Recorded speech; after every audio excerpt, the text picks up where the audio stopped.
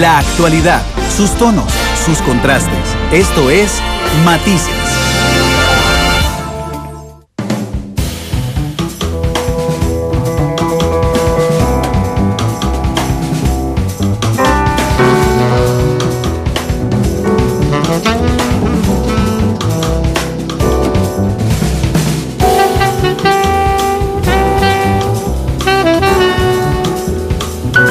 De la tarde con 21 minutos. Regresamos a Matices. Don Sergio Mena, candidato presidencial del Partido Nueva Generación. Don Sergio, ¿cómo le va? Bienvenido. Gracias, Randall, eh, por la invitación. Eh, igual a Febe. Y, como todas las veces que me invitan a Matices, muy positivo, muy contento y, agradecerle que me tome en cuenta. Dice eh, un tuitero de Grupo Mavesa. Saludos al licenciado Sergio Mena de parte del ingeniero Manrique Vega. Adelante el PNG, la batalla es dura pero no imposible, dice. Sí, Manrique creo que es un ciudadano de Turrialba, si mal no, no recuerdo, le, agradezco mucho, ingeniero Manrique. ¿Va de candidato presidencial nada más o irá también de candidato a diputado? A este momento, don Randall y, oyentes de Monumental, yo estoy inscrito únicamente en el Tribunal Electoral Interno como aspirante a la presidencia de la República. Eh, el partido político en general, la, dirigencia nacional está reservando el primer lugar por San José para que tomemos una decisión eh, como partido, como Asamblea Provincial de San José, en abril sobre la conveniencia o la pertinencia de que yo eh, ejerza una doble postulación.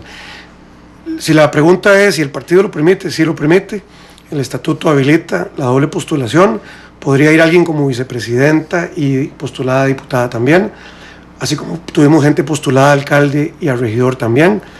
Hay otras divisas que no permiten la doble postulación, eso es asunto de cada casa. Nosotros por un tema eh, estratégico, somos un partido político que, que, no me interesa hoy repetir aquí esto, pero eh, si vamos a probar quiénes son partidos nuevos, reales, Nueva Generación es un partido que nació exactamente del suelo, de, una convocatoria ciudadana sin, experiencia política más que una regiduría mía en los años 98. Y eso significó que el partido político creciera, hoy ya nutrido de más personas que han estado en otros partidos, pero sí con una originalidad que nos hizo, bueno, no contar con un patrimonio económico fuerte. En su momento, en las dos elecciones, hemos ido con los recursos personales de nosotros no hemos disfrutado aún de deuda pública estatal y eso trae una consecuencia y es que en realidad para competir a nivel electoral se necesita dinero en Costa Rica.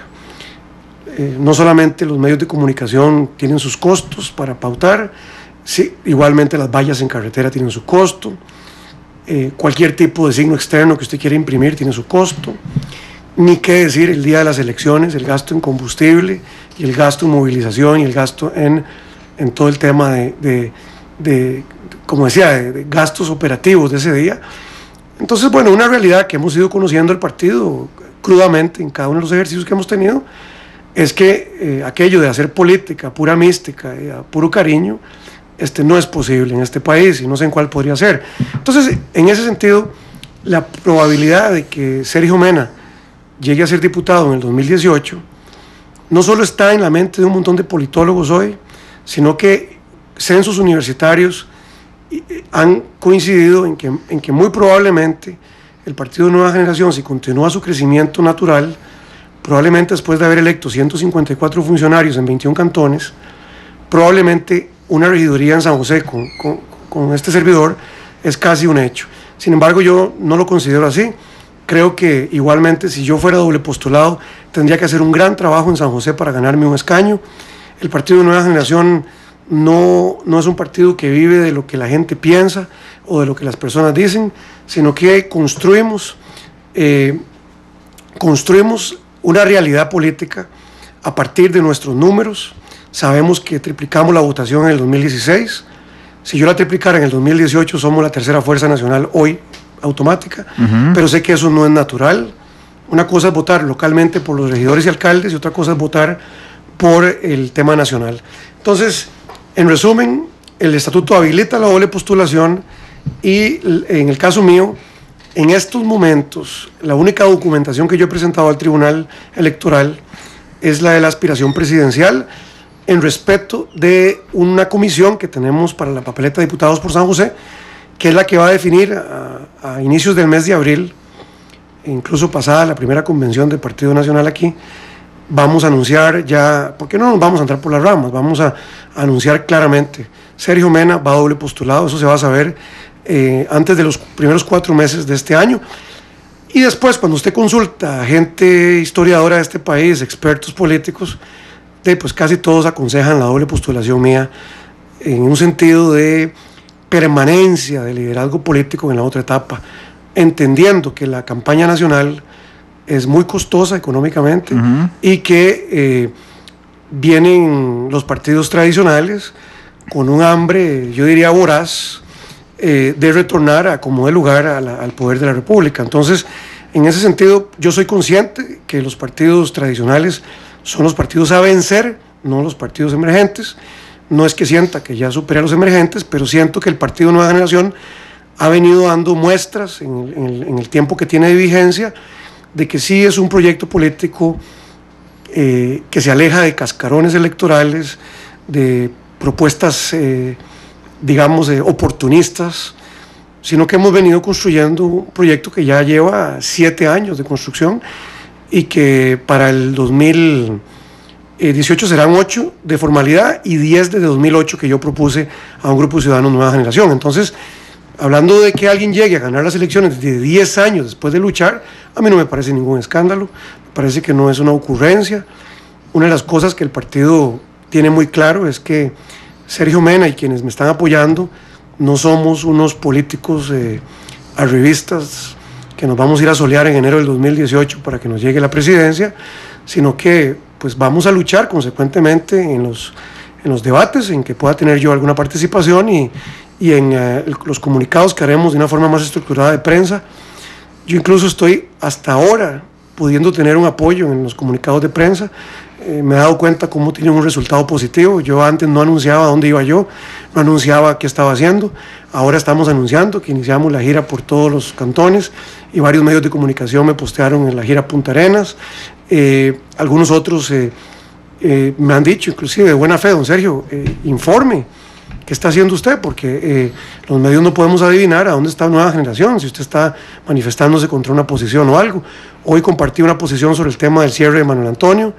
Eh, eh, a mí me parece algo absolutamente negativo que prioricemos el turismo a mansalva antes de un lugar que no tiene las condiciones mínimas salubres para operar.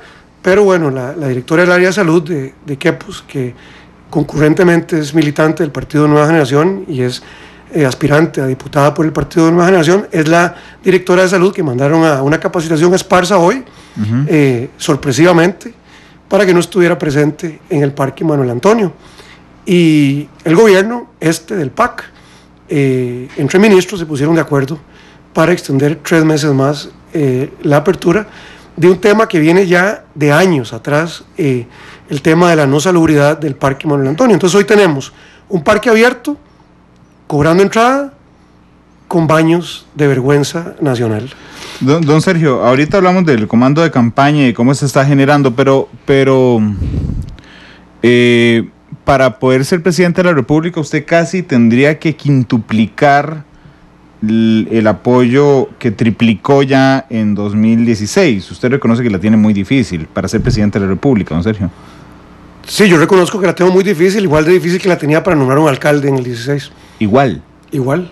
No, había, tenido, había tenido 25 mil votos yo. Claro, pero no era, nacional. no era, es más difícil ahora. En 2016 tenía que triplicar el apoyo.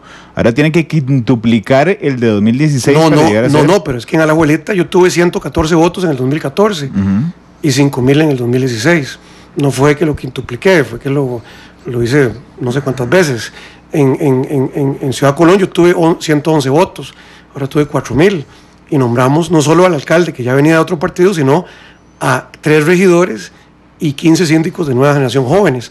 Entonces, eh, es, le reconozco de esta manera, es difícil que yo llegue a la presidencia de la Claro, pero es República que ahora por un tema, dijo- por un tema de cantidad de votos. Pero ahora por lo que me dijo, yo lo sentí casi que, que usted dice, bueno, yo voy a la- de candidato a la presidencia porque usted es el líder, sin duda alguna, de nueva generación, pero la lógica que pasa por la doble postulación es que, digamos, es que es muy difícil, con, tu- con, con toda honestidad, don Sergio, eh, le, le pregunto, llegar a ser presidente de la República. Eh, en una curva de ascenso, de ascenso muy lógica del partido. Sí, claro que sí. Eh, lo que pasa es que la lógica en Costa Rica no existe.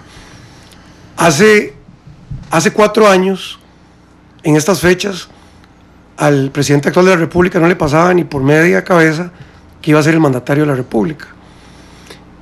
Entonces, cuando usted en Costa Rica, en un noviembre, está en un quinto lugar de las encuestas y en un enero 15 está en primer lugar, en un país donde la gente decide el, vo- el voto a boca de urna, donde las personas esperan los últimos momentos para decidirse a quién apoyar, yo creo que yo la tengo muy difícil, pero hay aspirantes de los partidos tradicionales que la tienen igual o más difícil que yo. Sí, Claro. como quién, de partidos tradicionales. No, no, eh, eh, yo creo que si yo estudiara como candidato de un partido tradicional, me tocaría no solamente convencer con las propuestas, sino convencer a la gente que aunque he sido parte del desarrollo de los últimos 30 años y, co- y corresponsable de lo que tenemos hoy, igual voten por mí.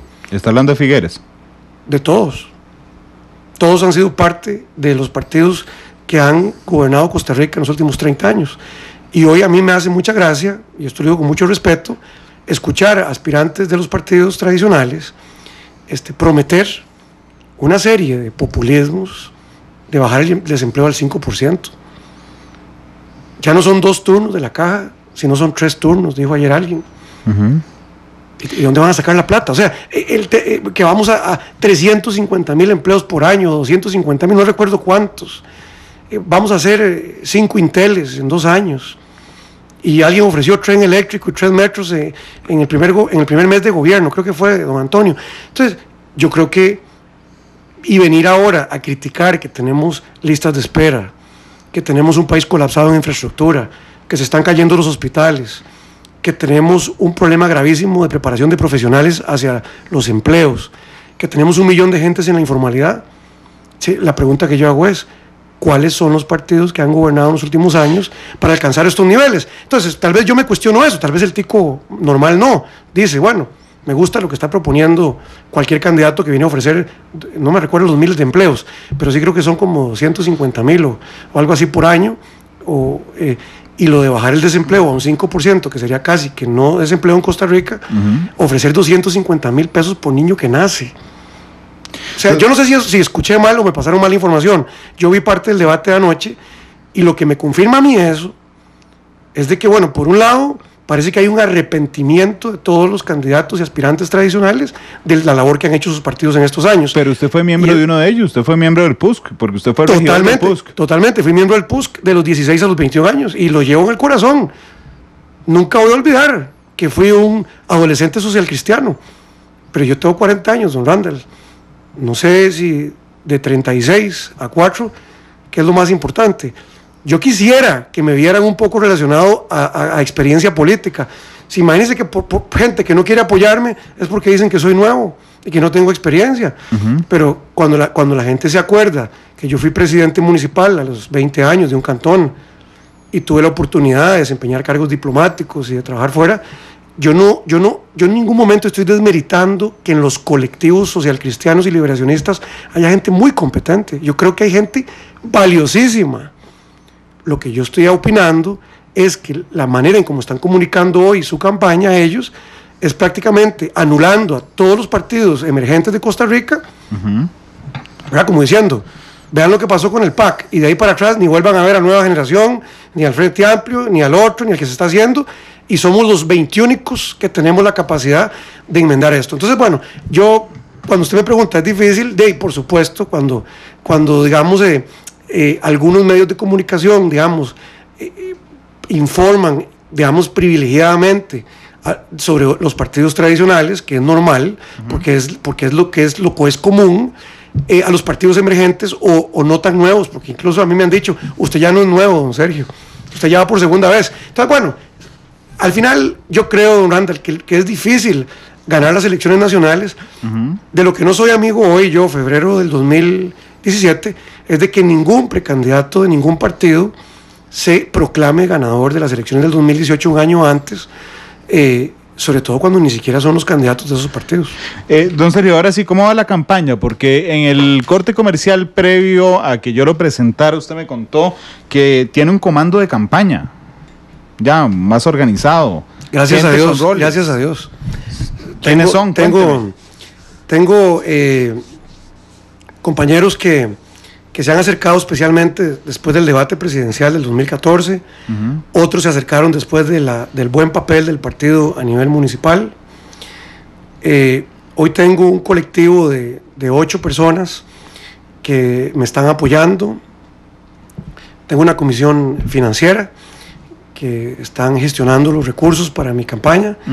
Eh, me tienen prohibido a mí pedir dinero me tienen eh, prohibido o sugerido no entrar en negociaciones con absolutamente nadie. Ellos son personas de alta confianza que están ayudándome, don Roberto Peralta, eh, es un empresario, don Mario Varela Martínez, que es otro abogado litigante, eh, don Rodolfo Solís Umaña, ahí está también don Edgar Oviedo Blanco, que es el propietario del grupo Babel, que va de candidato a diputado por, por Heredia. Tengo un comando de campaña que tiene la responsabilidad de Rodolfo Sojo, que es el jefe de campaña, que ya eh, pues en algunos medios le, han tomado nota. Pero déjeme hacer una pregunta, ¿ya están los candidatos a diputados por Alajuela? No están todos los candidatos a diputados. Eh, ¿Quién encabece?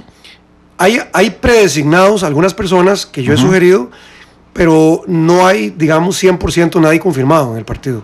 Ok, si yo le pregunto, de inscripción. Por supuesto, pero si yo le pregunto y si ya tiene claro quién va a ser el primer lugar por Alajuela, ¿lo sabe? Yo sé, a, yo sé a quién estoy apoyando para que aspire. ¿Hombre o mujer? Es un hombre, es el licenciado Orlando Zamora. Él... Entonces no podría ser usted primer lugar por San José? Sí, porque es que no es, no es en el orden de las provincias es en la sumatoria de las candidaturas. Ok, tienen que ser cuatro hombres y tres mujeres o tres hombres y cuatro mujeres. Exactamente. Nosotros, por ejemplo, o vamos a ir con cuatro mujeres y tres hombres o con cuatro hombres o tres mujeres. Pero las otras provincias, las seis que faltan, además de San José, no lo tiene, tiene definido a quién está apoyando. En Heredia, el ingeniero Edgar Oviedo Blanco. vamos a ver, Heredia, hombre. Ajá. Alajuela, eh, hombre. Cartago, la licenciada Magali Camacho Carranza. Ella es la actual jefe de seguridad de la Asamblea Legislativa. La que era del PASE. La que era del PASE, que sacó se 12, se vino con nosotros, exactamente. Magali va a encabezar la provincia de Cartago. Ya está inscrita ante el Tribunal Electoral Interno. Eh, llevamos mujer en Punta Arenas, que es la doctora Alejandra Quesada, que es la actual jefe de salud del área de Aguirre, que es la que emitió la orden sanitaria de cierre del Parque Nacional. Ella es la aspirante a, a diputada por Punta Arenas, es mujer y también Cinia Rose es una empresaria limonense del Cantón Central de Punta Arenas, miembro del, Comité de Reconstrucción del Black Star Line y muy activista. Ella es la diputada por Limón. Ahí estaríamos con ellas tres, como quien dice, cumpliendo la cuota mínima que el tribunal nos pide. Y este, estarían participando en San José. Eh, si fuese yo, sería hombre, pero podría ser una dama también, ¿verdad? Este, y en Alajuela, de haber alguna situación con Don Orlando, si él también decidiera no participar, por algún, también hay altas probabilidades de que sea una mujer. ¿Y en Guanacaste? En Guanacaste, el, licenciado Rodrigo eh, Sandoval es un abogado penalista eh, que está trabajando la provincia de Guanacaste muy asiduamente. Allá, allá queríamos impulsar originalmente a Mariela Campos Cruz, quien fue la candidata a alcaldesa en Liberia, pero ella decidió ser número dos entonces nos acomodamos con Mariela de segunda y don Rodrigo estaría aspirando al primer lugar. Nosotros vamos a tener en la mayoría de las provincias un fenómeno que es normal en los partidos que van en crecimiento natural, que son papeletas de consenso. Eh, sin embargo, está abierto totalmente que alguna compañera o compañero eh, pues entre en pugna con alguna otra compañera o compañero por alguna posición. Eso sí, tenemos un periodo de inscripción normado con una serie de requisitos que todos los, los, costarricenses, porque nuestro partido es abierto a la sociedad civil, eh, tienen que cumplir para participar en, como diputados. ¿Quién, ¿Quién los eligió usted? No están electos, no están electos. ¿Quién los designó? Eh, yo tengo en el estatuto una facultad, y lo tendrá el futuro candidato del PNG en el futuro, o candidata, una facultad que es la de sugerir en los tres primeros lugares de cada provincia una persona. ¿verdad? En otros partidos eh, el candidato elige los delegados nacionales, que llaman los diputados nacionales, y eligen listas de 10 o 5.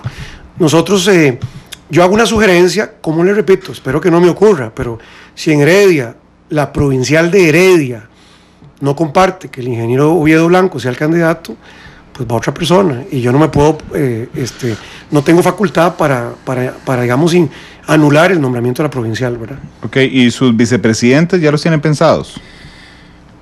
Eh, yo tengo los perfiles ya muy avanzados, eh, las personas no están definidas todavía. Tengo uno, tal vez, que estoy valorando con mucha fuerza, eh, es un ingeniero eh, que se llama Jorge Ogilve Araya. Don Jorge Ogilve actualmente es, eh, tiene un puesto eh, de dirección de Boston Scientific en Estados Unidos. Él estaba aquí hace un tiempo, él es militante del Partido Nueva Generación. Fue director de Adastra Rocket de Franklin Chan por 10 años, este, trabajó en Intel. Es un muchacho que ha, ha estado en el espacio y es un hombre muy, muy joven, digo, porque tiene 40 años, pero es absolutamente eh, una persona comprometidísima con concepto de educar haciendo y no de memoria y muy, muy comprometido con la innovación tecnológica para todo lo que es la digitalización del país y hacer una buena, una buena llegada de esto que todo el mundo está asustado con la robotización y la automatización. Eh, nosotros creemos como Partido de Nueva Generación que el, par- que el país debe desde ya ir previendo la llegada de los robots y de todo el tema laboral que se viene y no seguir aquí peleando los asuntos eh, cotidianos, eh, casi que, eh, que no tiene ningún sentido porque muy pronto está la llegada de, de máquinas que van a venir a, suplantar al ser humano y, y debemos prepararnos para esa, esa situación, ¿verdad? ¿Usted Entonces, está yo- preocupado por la, la automatización? no preocupado, sino estoy con responsabilidad viendo las décadas que vienen y creo que nuestro país tiene que tornar, tornar su, su visión hacia una educación técnica muy fuertemente y tenemos que ir preparando a- a- al talento humano costarricense para que cuando sea el momento nosotros no nos veamos simplemente amenazados sobre la marcha de algo que ya está ocurriendo en otras latitudes, ¿verdad? Entonces, eh, la, la ventaja con los robots es que eh, no tienen ética ni juicios de valor, entonces siempre habrá el rec- recurso humano necesario para, para Pero manejarlos. usted me acaba de decir que la ventaja es que los robots no tienen ética, ¿en serio? Sí, sí, o sea, no tienen juicios de valor. O sea, no, un robot no dice, mira, eh, eh, esto me parece mal, esto me parece bien, ¿verdad? O sea, yo, por supuesto que un robot eh, te va a ser más eficiente en una labor de cumplimiento de horas. Por ejemplo, no va, no va a tomar café, no va a almorzar, eh, no va a llegar tarde, no va a pedir permiso porque está resfriado. Y, y son cosas que uno a veces eh, bromea con eso, pero, pero puede ser que el día de mañana eh, estemos viviendo eso más con más fuerza. Pero bueno, es solo un tema, era para justificar un poco cuál es el interés mío de llevar una vicepresidencia con una persona experta en el tema de tecnología e innovación. Digamos, así estoy viendo yo una de las, de las vicepresidencias, que esa sería la ligada al sector privado, digamos, costarricense. Y la otra vicepresidencia la quiero, eh, quiero una mujer, este, eh, un perfil sería una mujer Y tiene que ser una mujer. tiene que ser, pero además la quiero, eh, con alguna experiencia estatal que conozca un poco el tema social y especialmente me ayude con algunos de mis temas de transformación que quiero en educación y salud para que eh, podamos ir cubiertos entonces con eso. Yo personalmente soy un, sería un mandatario experto en derecho municipal con experiencia en relaciones diplomáticas, soy ex diplomático de Costa Rica, Tengo- voy a poder manejar las relaciones internacionales con mucha fuerza y el tema también, pues conozco la administración pública porque soy administrador y soy abogado, entonces, digamos, la legalidad del Estado costarricense la conozco, por lo que quiero apoyarme con personas expertas en las áreas en las que yo no soy ducho, digamos, no tengo eh, la experticia ni en educación ni en salud y muchísimo menos en el tema de tecnología e innovación. Entonces, ahorita le voy a poner, como a todos los candidatos a la presidencia, algunos temas para que usted me responda si está de acuerdo o no y si lo impulsaría un gobierno suyo. Pero yo quiero saber y me voy a esperar a que, a que pase eh, la información. Pero Juan Diego Castro sería acercado a usted. Eh, Juan Diego Castro se, se- se acercó a mí, no directamente, a una persona que fue candidato a alcalde del Partido Nueva Nación en San José, Gustavo Adolfo Ortiz, hace ya más o menos, eh, tal vez un año o un poquito más atrás. Yo tuve una reunión con él, Él me invitó amablemente a su oficina, hablamos y compartimos cosas sobre realidad nacional. Eh, creo que eh, tuvimos una empatía. Yo personalmente le tengo una gran admiración como abogado penalista. Yo no, no he vuelto a tener un contacto eh, con él desde el punto de vista de reuniones ni nada por el estilo. Lo he cruzado un par de veces en eventos, nos hemos saludado afectivamente, pero no puedo decir que de manera oficial este, haya habido un contacto directo de él en estos meses, en estas semanas, y, y tampoco de un tercero que yo conozca. Entonces no, no, no, no estaría buscando un puesto mm, con usted, don Juan Diego. Yo no le puedo descartar eso en este momento. Bueno, pero no existe en ese no momento. No existe el contacto para eso, no hay una comunicación. Ni oficial ni extraoficial. No, lo que sí ha existido es un contacto anterior. Claro, pero eso fue hace un eh, año, me dijo usted. Exactamente, sí. Sí, en los últimos meses no han hablado. No, señor. Eh, don Sergio, esta pregunta se la ha planteado a todos los, candidatos y es parte de su vida privada, así es que puede decirme que simplemente no me conteste, yo no insistiré en el punto. Claro. Pero a todos les he preguntado cuánto es su ingreso mensual. ¿Usted me puede decir cuánto es su ingreso mensual? Mi ingreso mensual, eh, más o menos, eh, contando a mi esposa, o solo yo.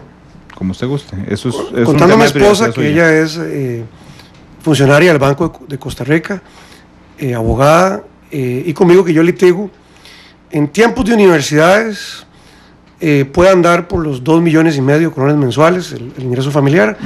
Y eh, cuando no estoy dando clases como ahora, pues baja un poquito, como tal vez como, como 2 millones de colones, 1 millón 800 mil. Yo en realidad este, estoy de vacas flacas un poco con, con los clientes porque eh, obviamente estoy muy dedicado a la, aspiración presidencial. Entonces digamos que estoy entrando en un esquema donde el partido eh, empieza a asumir, digamos, el costo, por ejemplo, de mis giras, de mis, de mis visitas a comunidades, de los hoteles, de, las, de, las, eh, de los temas que requieren un gasto normal. Y yo, como he dicho ya en algunas intervenciones, yo vivo en, un apartamento eh, de 90 metros cuadrados donde cabemos mi esposa y mi hijo y este servidor perfectamente y toda la vida he tenido una clase, una vida de clase media, pues que mantengo todavía y mantendré, espero siempre. Entonces, no soy, soy una persona aspiracional. ¿Por qué espera siempre? No es malo tener plata. No, no espera ser adinerado algún día. Es que yo puedo ser de clase media con, con plata o sin plata. Es que de hecho estar en clase media no significa que usted tenga plata. Clase media, digo. No, no, clase alta, me refiero, no aspirar ah, no, no, no, no, yo, yo, yo añoro estar eh, con recurso económico para viajar y para disfrutar y todo bien habido, claro. Entonces no quiere ser clase media toda la vida. No, quiero ser una persona con corazón de clase media, ser un, un aspirante a vivir en sociedad civil. Cuando digo clase media, don Randall, me refiero a no ser una persona que busca los excesos y que no busco los lujos innecesarios, eso es básicamente. Eh, siempre me he mantenido en estos 39 años así. Y no sé, me imagino, ya fui diplomático, estuve en París ganando miles de dólares y en Trinidad y Tobago. Y, recuerdo que siempre caía mal porque no podía hacerme tan, no podía hacerme tan protocolario, digamos, y tan... ¿Qué, hizo en París? Es que nos preguntaron cuál fue su experiencia diplomática. Fui encargado de cooperación internacional y, y consejero y cónsul de Costa Rica. ¿Y en Trinidad y Tobago? Fui encargado de negocios de Costa Rica para el Tratado de Libre Comercio y eh, este, embajador alterno de Costa Rica ante la Asociación de Estados del Caribe y cónsul de Recargo. Le voy a, le voy a, a, leer algunos de los comentarios que tenemos esta tarde. En Twitter dice Agustín, con esa pincelada del tema robots metió las de andar don Sergio al exponerlo muy a lo Trump, demasiado mercantilista. Dice Gustavo Araya, que es nuestro especialista en comunicación política, es interesante lo de la experiencia Ah, no, es Gustavo Araya, el presidente de la Cámara de Hoteles. Disculpe, es interesante lo, de la experiencia diplomática, es que me había quitado los anteojos. ¿Cuál fue esa experiencia y cómo manejaría la relación con Trump? Ya le pregunté de la experiencia, ahora le pregunto la de Trump. Eh, este me llamó la atención, es Fernando Rodríguez. Fernando Rodríguez es el viceministro de Hacienda de nuestro país en este momento. Y Fernando Rodríguez dice, un robot sin juicio de valor para sustituir a los trabajadores humanos da terror de solo escucharlo, dice el viceministro Rodríguez. Eh, el POAD dice, don Sergio siempre habla de temas avanzados en comparación con el discurso tradicional Industria 4.0. Eh, Natalia Salazar dice, buen programa con Sergio Mena. Hace casi cuatro años dije que él es mi candidato y aún lo sostengo. Tal vez para aclarar, Durán, si me permite, a los que están hablando de los robots, a don Fernando Rodríguez, con todo respeto, eh, que yo no sé si no escucho bien, yo dije que los robots no tenían juicios de valor. ni sabían que era bien y que era mal, y que iban a llegar a sustituir tarde o temprano ciertas facetas de los empleados del país, a nivel privado y público. En ningún momento dije que íbamos a poner a, a tomar decisiones de Hacienda ni a, ni a cobrar eh, los impuestos a robots.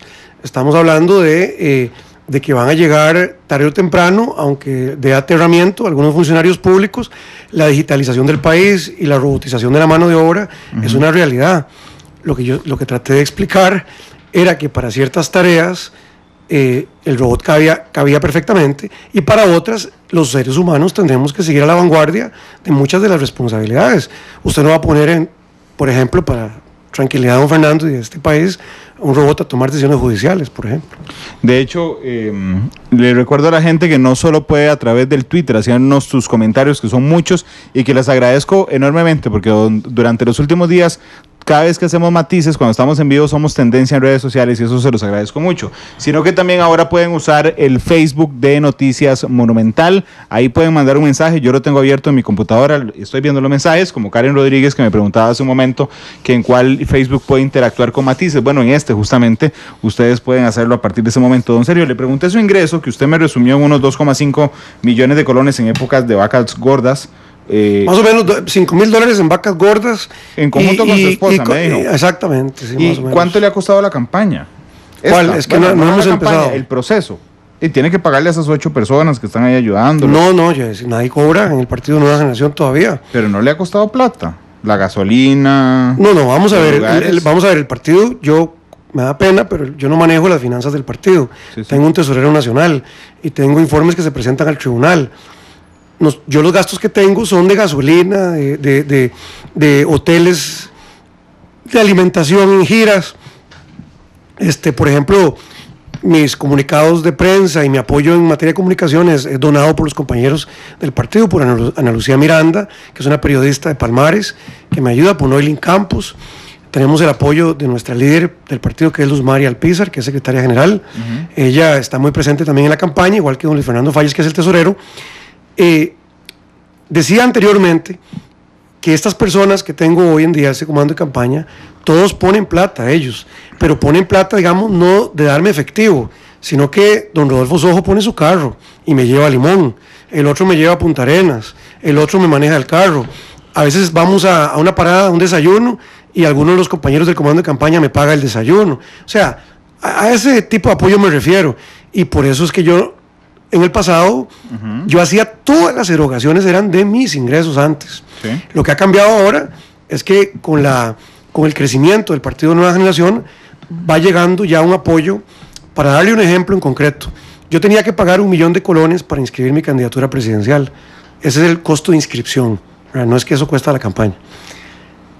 Y yo iba a ver cómo hacía, porque yo no tengo certificados de depósito bancario de millones, ni tengo edificios que alquilo en el país, ni, ni condominios, ni tengo lotes. Y le digo a mi esposa, necesito sacar un millón de pesos para pagar mañana, 31 de enero. Y doña Luzmari lideró una colecta dentro del partido y me depositaron el dinero en la cuenta del partido, entre varios compañeras y compañeros.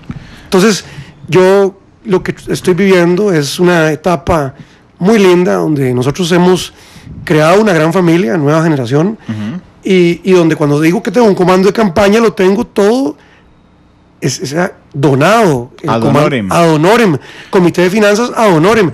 Lo que sí estamos recibiendo ya, y eso también es así, son cotizaciones de algunas personas que nos quieren vender servicios, porque lo que sí es una realidad, don Randall, es que nosotros vamos a, a emitir certificados de bonos de deuda electoral vamos a, ejercer créditos bancarios y nosotros vamos a darle contenido financiero a nuestra campaña. Ahora, el partido Nueva Generación este, está con muchas expectativas a nivel, en un primer estadio legislativo, y vamos a, darle contenido económico a, la campaña a nuestra fuerza y a nuestra capacidad, pero sí vamos a estar, Dios mediante, eh, consiguiendo recursos.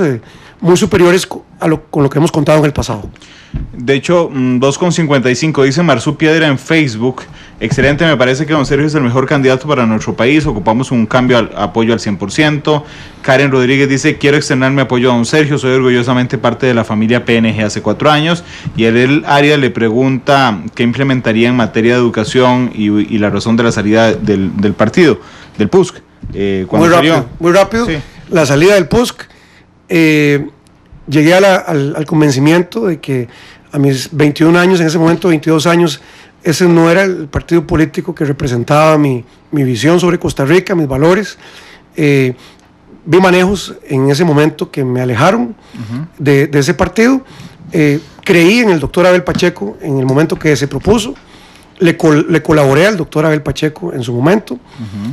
Y pasado ese momento, eh, nunca fui nada relevante en el Partido de Unidad desde el punto de vista dirigencial.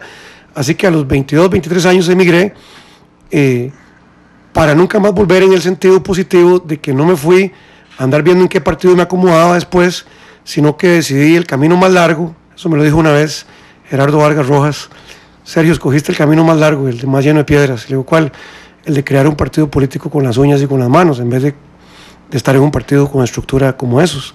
Así que bueno, no me arrepiento de haber salido, guardo una gran estima por el Partido Unidad, pero eh, soy un competidor fiel y firme en este 2018. Eh, esa es la razón y ocho años después de mi salida del Partido Unidad es que yo fundo con un grupo de compañeros el Partido Nueva Generación. Y en educación muy rápido, en el gobierno del PNG yo voy a garantizar que con los recursos existentes todos los niños de los tres meses a los tres años estén en los secudis y en los centros de cuidado infantil universal. No interesa cuánta plata tiene Randall o Sergio, el chiquito va a ser atendido ahí, gratuito. Los que quieran pagar voluntariamente que paguen, pero no va a existir nunca más que una mujer llegue a meter un niño y porque consiguió trabajo le saquen al chiquito del secudis porque ya no califica. Y con la misma plata que hay ahora, ya hicimos números con el tema de, los centros de, de la red de cuidado y toda esta cosa.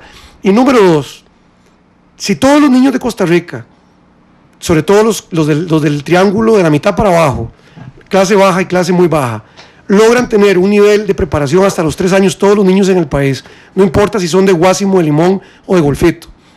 Y nosotros nos encargamos de que entren a la escuela primaria y a la, prepa todos los niños con un nivel básico de formación, de, de estimulación temprana. Yo estoy seguro que al cabo de sexto grado, vamos a vivir la mejor época de no deserción estudiantil primaria, porque yo siento que muchas de las disparidades se dan en los primeros años de vida de los niños por la pobreza que hay en un grupo del país. Y una propuesta que es original del PNG del 2010, yo he hablado y tengo desarrollado el replanteamiento del examen de bachillerato, ese populismo, eliminarlo no es la salida. Aquí no hay que eliminar las cosas, no hay que, no hay que aflojarle los requisitos a la gente. Aquí tenemos que replantear desde el noveno año a los adolescentes en educación técnica, científica, social, cultural, deportiva y artística, y que los muchachos salgan en quinto año con su vocación directa.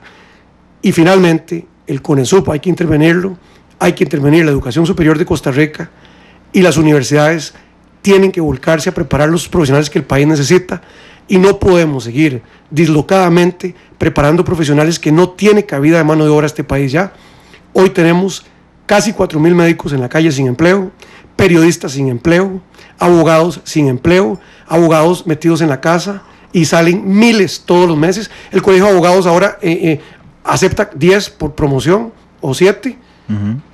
Y otra cosa que yo tengo una gran duda es cuál es el papel de los colegios profesionales en Costa Rica hoy en día respecto a los que son sus gremio militante. Don Sergio, tengo un minuto más antes de ir a la pausa comercial porque después venimos a plantearle los algunos temas que yo escogí, que he escogido para plantearle a los candidatos presidenciales de qué haría. Si es que le pido que sea muy breve en esto, pero quiero saber cómo le ha ido con los alcaldes de Mora, La Jolita y Nandayure. Eh, con el alcalde de Mora eh, es espectacular. No sé si usted conoce el cantón de Mora, eh, el parque municipal de Mora, el centro de cuidado infantil de Mora. Eh, la Biblioteca Pública de Mora, eh, los, barrios del Cantón de Mora, incluidos los distritos rurales. Don Gilberto Monge Pizarro es un miembro del Partido Nueva Generación, totalmente comprometido con el partido para el 2018. Es, un, es, oro para mí desde el punto de vista político por su experiencia. y en Mora estamos eh, también haciendo, formando nuestros líderes jóvenes del partido, como los regidores que llegaron y la, síndica Fabiola Robles Monge. Eh, mi calificación para Mora es, muy positiva. Eh, en Alajuelita tenemos un alcalde municipal, Modesto Alpizar Luna, y una papeleta de regidores que llegó a gobernar. Somos gobierno en uno de los cantones más críticos del área metropolitana. En ese sentido, debo reconocer la firmeza con la que don Modesto se ha plantado en estos ya casi primer año. No es fácil llegar a una municipalidad que ha venido, digamos, acostumbrada a un estilo de trabajo bipartidista histórico.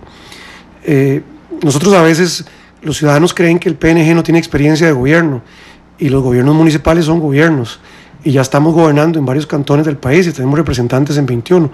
En abuelita, la razón simplemente es que ahí digamos, las acciones que se están tomando, Randall y oyentes, ha habido una costumbre de empobrecer a la abuelita cada año, de llegar con más bonos de vivienda, de llegar con más ayuda asistencialista. Y don Modesto se está parando firme para, para organizar un poquito mejor ese tema social. Y él sueña con una abuelita de progreso, más segura, y, lo califico también positivamente.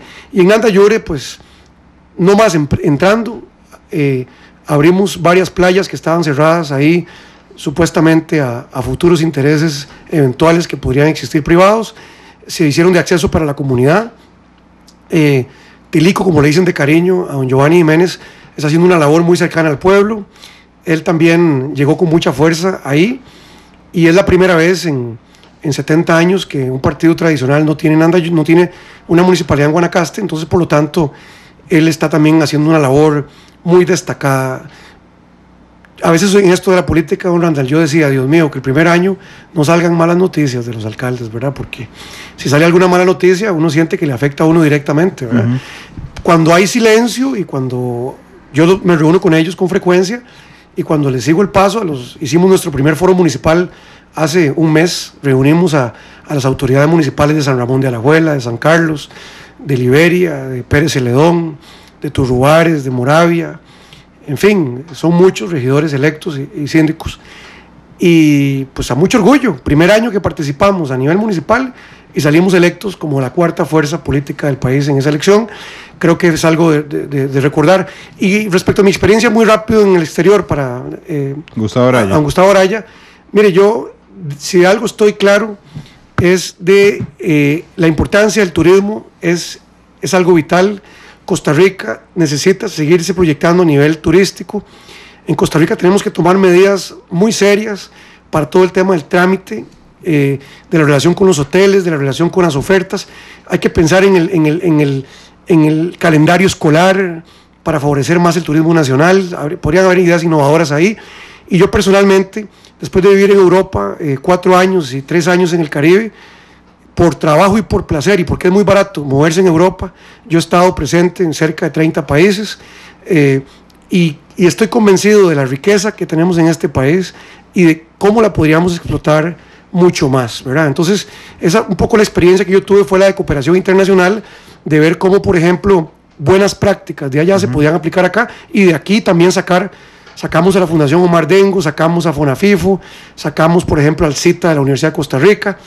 Eh, esa fue más o menos la experiencia que tuve.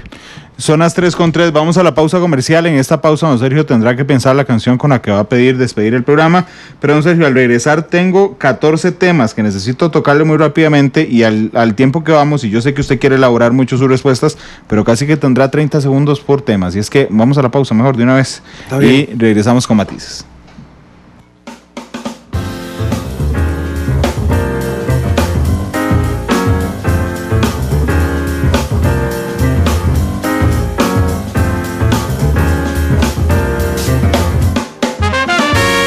Porque la realidad tiene muchos tonos, matices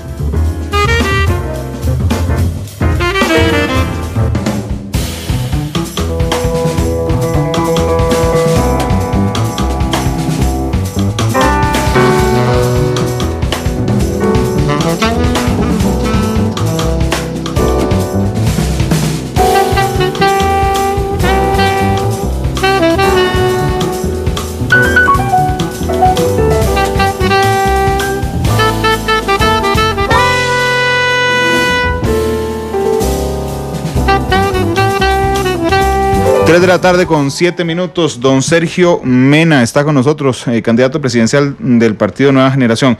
Don Sergio, voy rapidísimo. ¿Qué le parece el periodo presidencial de cuatro años? Me parece eh, insuficiente para hacer una transformación del país, pero eh, sería amigo de un máximo de cinco años cinco. En, un caso de, de- de variación. Le gusta cinco, pero si usted fuera presidente, ¿impulsaría el cambio de una vez constitucional? No para usted, por supuesto, sino para el siguiente gobierno. Pero Sin, sin ninguna duda, sin ninguna duda lo apoyaría. ¿La reelección presidencial continua? Un periodo más eh, lo veo pertinente. en- Continuo. continuo, Ajá. sí. Ok, y lo impulsaría, no solo le gusta, sino que lo usted diría, bueno, voy a proponer. Lo impulsaría porque eso, eso daría la posibilidad casi que de un referéndum, digamos, eh, automático, ¿verdad? Si el, si el presidente ha sido un buen presidente, pues será reelecto. Carrera parlamentaria, mm, que los diputados se reelijan. Yo no, yo no veo tan, bueno, en ese aspecto no la veo tanto. Yo la apoyo, la carrera parlamentaria, la estamos haciendo dentro del Partido Nueva Generación. Lo que queremos es que las personas que empiezan a candidatearse a diputados y llegan a la Asamblea puedan volver, pero después de capacitar a, a otros que puedan llegar y que el partido pueda tener un relevo de parlamentarios que empiece a ser como un círculo, donde no se pierda la experiencia, pero tampoco una carrera parlamentaria para que hayan diputados 25 años nombrados en el Congreso. Ok. Eh, siguiendo la diferenciación teórica histórica, eh, nueva generación, ¿es derecha o izquierda? Es que ninguna de las dos. Yo soy, vea, yo soy la Caja del Seguro Social con alianza público-privada, con los médicos sin trabajo y con cooperativas de salud. Los privados van a desahogar las listas de espera. Soy de derecha, porque quiero meter la empresa ¿Y privada. en, qué es la- y en qué es de izquierda? Soy de izquierda con que estoy a muerte con la educación pública y con la salud pública de Costa Rica. Es centro derecha. Soy centro derecha para ciertas cosas mayoritariamente, pero tengo también parte de centro izquierda en algunos temas, como por ejemplo, ¿qué más que quiero? Un país donde todos los costarricenses tengan certificado un oficio, al menos si no tienen la parte académica. Y quiero sacar a la gente de la pobreza a partir de ideas innovadoras de asociación productiva. Y aunque parezca muy de mucha ilusión, aspiro a, a conservar para un grupo muy reducido de este país el bono de vivienda en el futuro y erradicar el clientelismo político de bonos de vivienda y de becas que hay en- hoy en día en Costa Rica. ¿Y los extranjeros qué haría con ellos? En el- relacionado con la caja y con los bonos. Los extranjeros, todos son bienvenidos, pero todos pagando impuestos y pagando la caja del Seguro Social. Eh, yo sí sería un poco más estricto en el tema de que nosotros tenemos que tener una capacidad resolutiva cuando tenemos extranjeros incumpliendo en el territorio nacional. Cuando usted incumple en los Estados Unidos como costarricense, usted ya sabe lo que le va a pasar. Aquí tenemos un poco como un libertinaje internacional, digamos. Aquí la gente viene y se queda viviendo haciendo lo que le da la gana en la playa y haciendo de todo y compitiendo con nacionales de manera irregular. Yo considero que los extranjeros deben de venir a Costa Rica porque estamos globalizados, yo creo en los derechos humanos, creo en la comunidad que, que camina y que quiere un mejor futuro, pero nosotros necesitamos asegurarle este país en materia de seguridad, educación y salud primordialmente a los costarricenses Pero bonos a y a los extranjeros. ¿Hay bonos a los extranjeros? Sí, no hay problema. Bonos de vivienda. Si esos extranjeros están regularizados en el país y son de ese 10% que aspiro yo a, a- a ayudar, no tengo ningún problema en que sean chinos. Ok. ¿Qué le parece la consulta constitucional de los diputados? Que muchas veces lo que hacen es atrasar eh, los proyectos de ley cuando se aprueban en primer debate. ¿La mantendría o la eliminaría?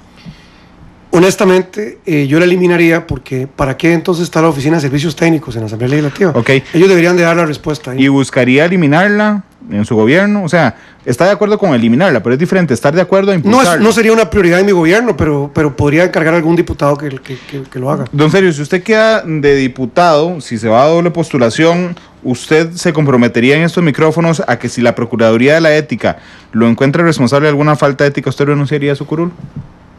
Se la contesto de esta manera. La Asamblea Nacional del Partido Nueva Generación, el 20 de noviembre del 2016, acordó que todos los candidatos a diputados del partido, diputadas, presidente y vicepresidentes, deben de firmar de antemano un compromiso de renuncia a su curul o a su cargo en caso de ser denunciados penalmente ante la Corte Suprema de Justicia y en que se encuentre firme una acusación.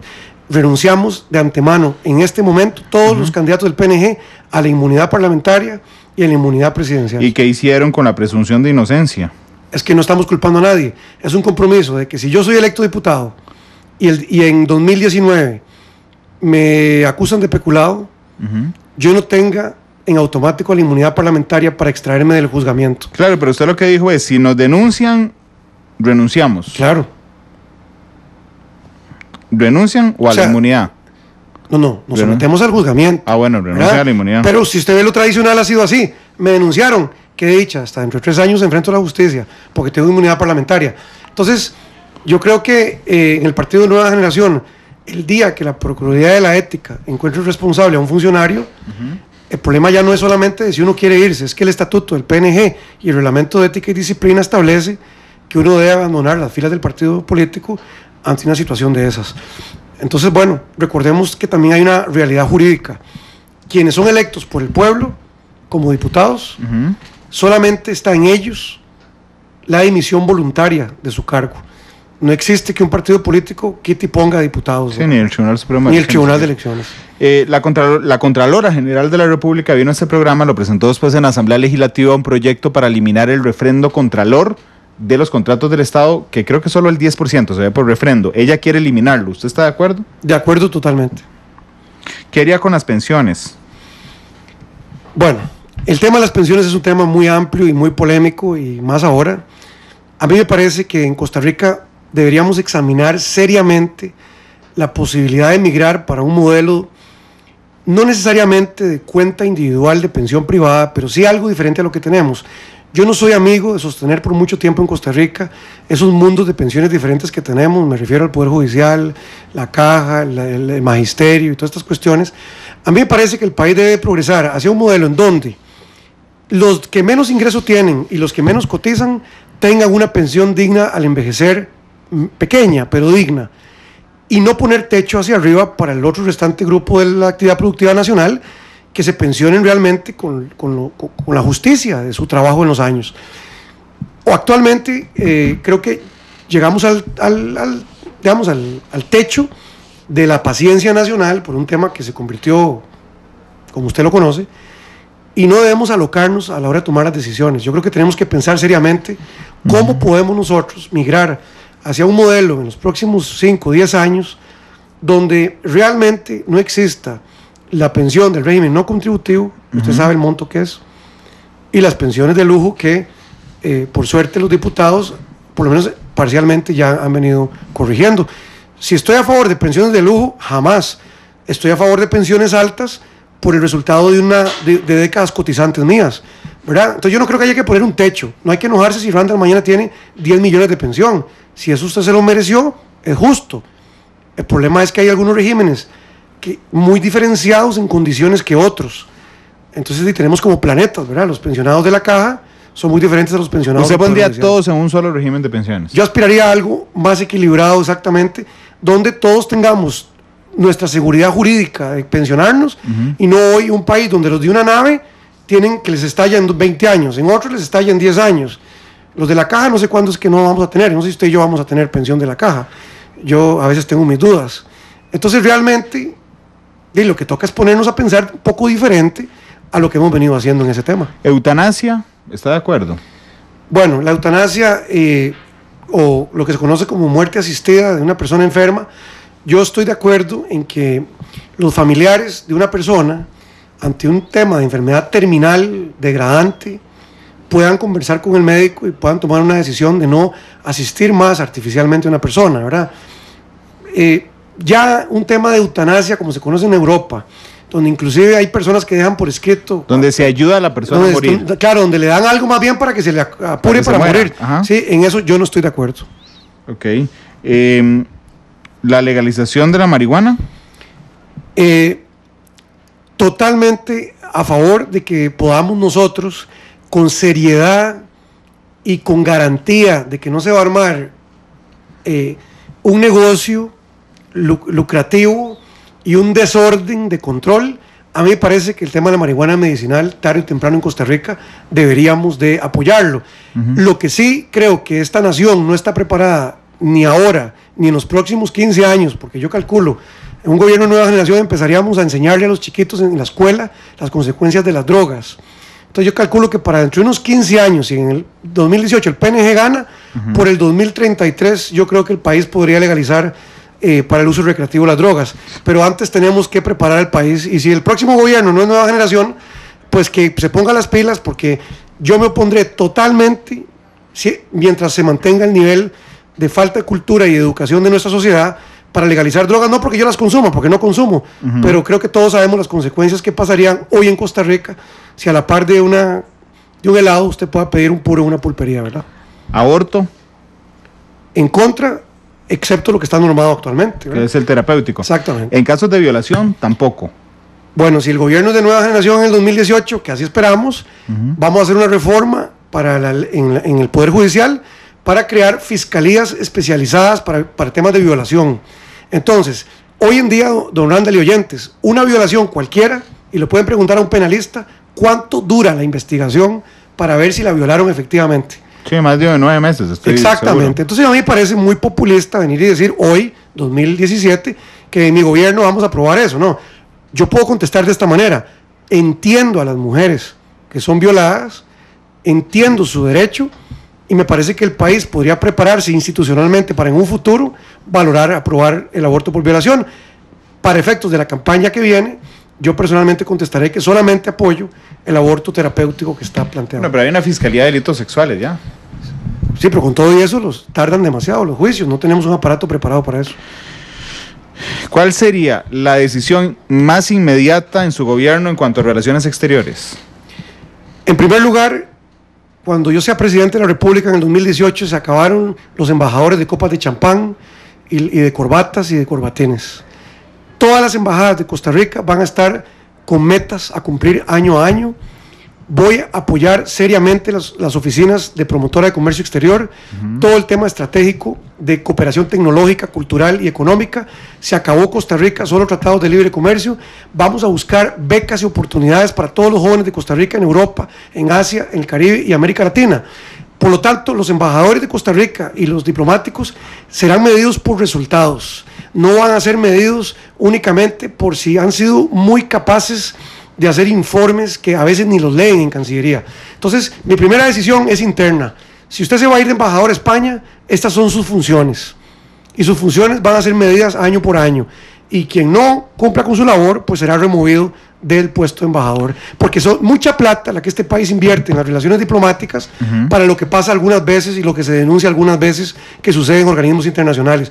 Por otro lado, yo revisaría la pertinencia de que el país participe en tantísimo organismo internacional.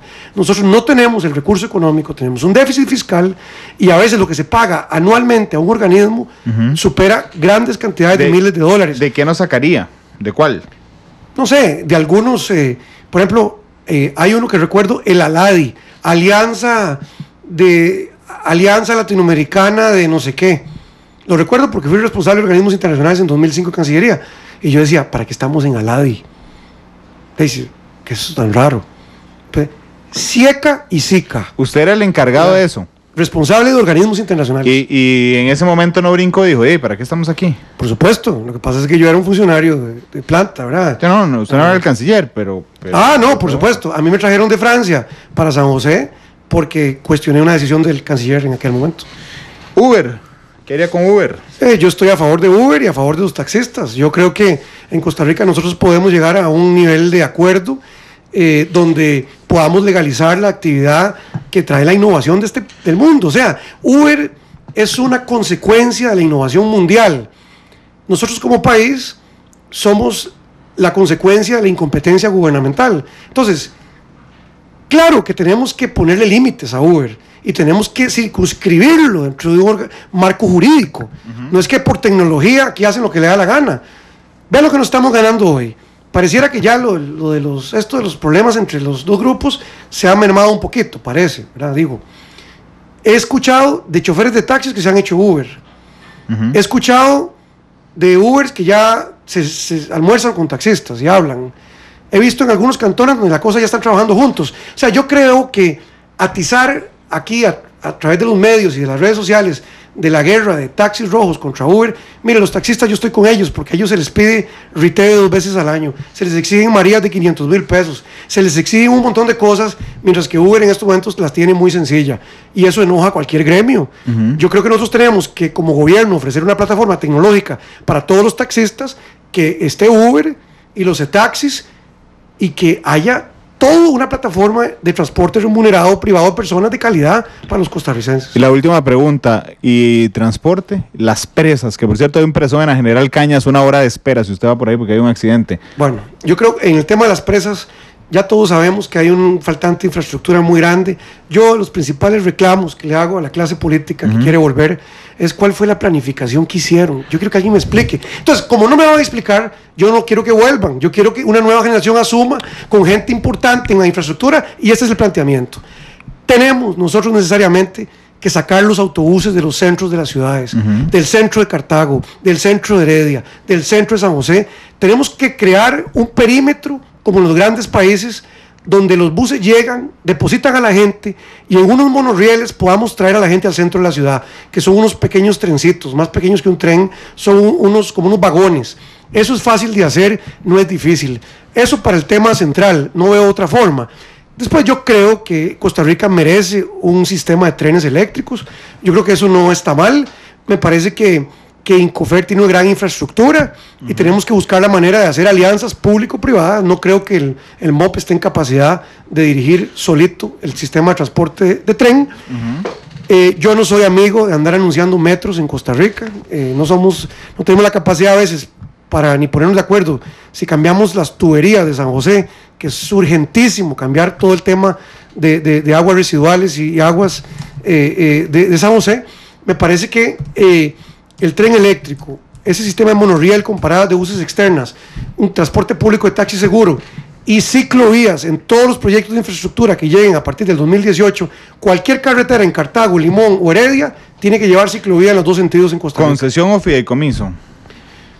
Eh, soy amigo de, las dos, de los dos institutos. El fideicomiso, bien planteado, es una solución para muchas cosas. Lo que pasa es que a veces administran los bancos o administra un ente que no es experto en obras y a veces se atrasan las cosas.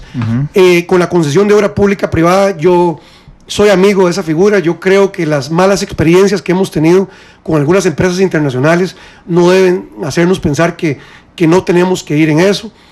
Yo soy del, del perfil o ciudadano que lo que quiero es que me atiendan bien a nivel de transporte público, de infraestructura, salud y educación. Por lo tanto, yo creo que los ciudadanos están esperando eh, que haya calidad de vida en Costa Rica, que el entorno sea digno y si al final es una concesión de obra pública la que va a hacer que los puentes que me tienen en este momento a mí bloqueado al salir de mi casa se conviertan de cuatro carriles o de dos en vez de uno, ¿qué importa si están concesionados en una empresa privada? Lo que importa es que el servicio sea de calidad. Entonces, en ese sentido, yo creo que en todas las concesiones hay que firmar una cláusula con las concesionarias para en asuntos de emergencia nacional, como sucedió con el famoso puente de Pletina y todo lo que hemos visto, debimos haber hecho algún tipo de convenio con la Ruta 27 Global Vía para decir, miren, apliquemos la cláusula del asunto emergente, ¿por qué no levantamos de pronto los peajes alguna hora? No a la hora pico, porque ahí se hace un embudo.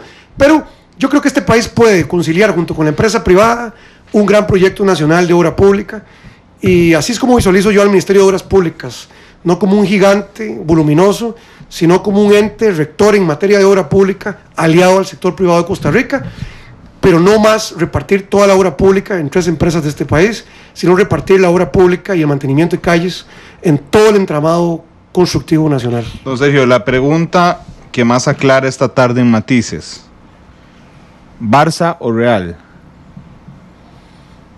Eh, Real Madrid. Bueno, qué dicha, lo felicito. Y yo también soy del Real, porque el Barça va perdiendo 4 a 0. Era lo que quería contar. Real Madrid y, liguista por aquello, porque para que no piensen que es por Keylor, ¿verdad? 4 a 0 le va ganando el Paris Saint Germain al Barcelona Fútbol. Y ese es mi equipo en Francia. Yo fui al estadio varias veces del Paris Saint Germain y, y me alegro mucho. Minuto 85. Y sin Ibrahimovic, porque ya no está ahí. Imagínese. Don Sergio, muchas gracias por A usted, a usted por invitarme. Muchas gracias. 3 con 26. Don Sergio escogió la canción de cierre. Eh, Diego Torres, Color y Esperanza. Los espero mañana. En Matices, 2 de la tarde estará don Oscar López, diputado del PASE. Y don Oscar nos hablará de su propuesta para eliminar los exámenes, para eliminar las tareas. Y vamos a ver qué más pasa mañana cuando le preguntamos a don Oscar. 3 con 26. Feliz tarde que hay en tus ojos con solo mirar, que estás cansado de andar y de andar